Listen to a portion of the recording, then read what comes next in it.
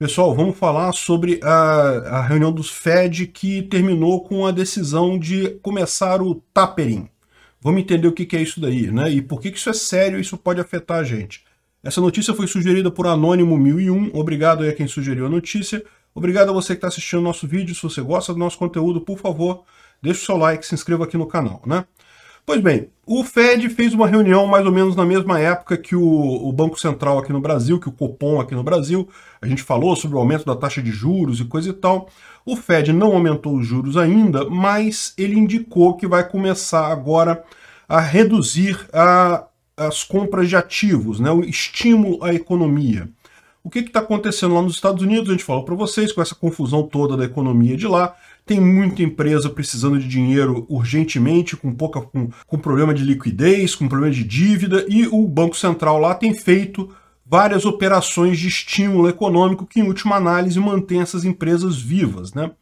E o que ele decidiu agora, ainda não vai aumentar os juros, mas ele vai é, diminuir essas, essa injeção de dinheiro na economia. Então ele vai fazer uma redução de 15 bilhões nas compras de ativo. Olha, para você ter uma ideia. 15 bilhões de compra de ativo por mês que eles têm feito, elas vão diminuir, isso é diminuição.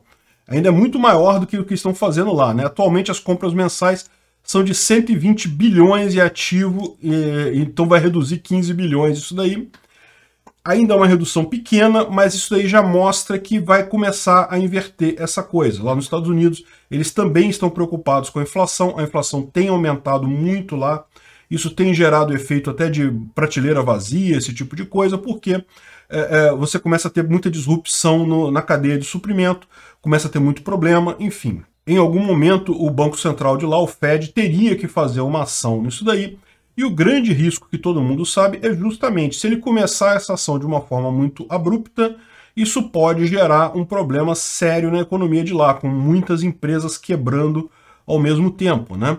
Só que se ele não fizer isso, a inflação vai disparar cada vez mais. Então, alguma coisa ele vai ter que fazer nesse meio termo.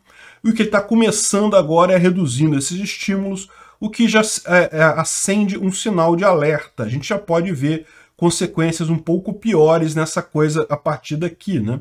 Vamos ver como é que isso caminha lá nos Estados Unidos. É, é aquilo que eu falei para vocês. Houve um desarranjo muito grande, não tenha dúvida, durante a pandemia, os governos todos tiveram, é, proibiram pessoas de sair de casa, imprimiram dinheiro, jogaram dinheiro na economia loucamente, causaram uma inflação enorme naquele momento e agora estão tentando corrigir a coisa. Só que jogaram tanto dinheiro na economia que não tem como esvaziar esse dinheiro todo agora, não tem como fazer essa redução de liquidez agora. Realmente o problema vai ser bastante sério, eu estou muito preocupado com o que vai acontecer com a economia de lá.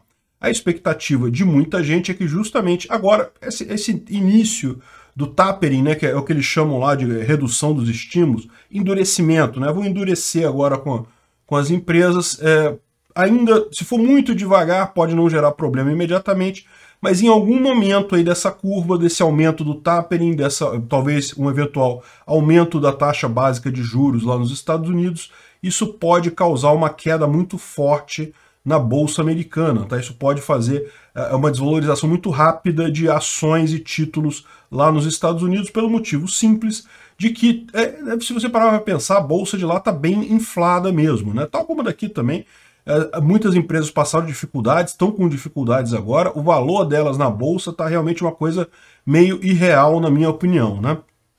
Então, vamos ver como é que caminha isso daqui, mas sem dúvida alguma a expectativa é que, é, é, lógico, o que eles querem é que não tenha, é que a coisa seja tão suave, que ninguém perceba, né, que não altere, mas a minha visão dessa coisa é que em algum momento, meu amigo, vai ter uma, uma inversão aí e a coisa vai desandar, hein?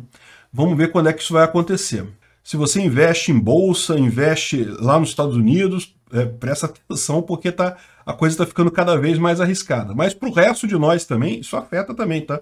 Não acha que não vai afetar não, porque no momento que a bolsa cai muito, que todo mundo começa a ficar sem grana, é, começa a secar investimento, come, começa a ficar mais difícil pegar empréstimo, começa a dificultar um monte de coisa. Então, no final das contas, acaba afetando todo mundo é, é, esse tipo de coisa, né? Obrigado por sua audiência. Se gostou do vídeo, por favor, deixe o seu like e se inscreva no canal para aumentar a relevância dele no YouTube. Assim, mais pessoas terão acesso às ideias da liberdade. Considere clicar no sininho e pedir todas as notificações para ser avisado de novos vídeos. Se quiser contribuir sugerindo notícias, vá em nosso site ancap.su, cadastre seu usuário, clique em sugerir pauta. Basta colocar o link da notícia, escolher a melhor foto e confirmar. Se quiser contribuir com o canal financeiramente, veja as formas de apoio nos links da descrição do vídeo. Contribuindo, você pode fazer parte do Discord dos patrocinadores. Se quiser camisas com a marca do canal, veja nossa loja no site pimentanocafé.com.br barra visão libertária. O link está na descrição do vídeo.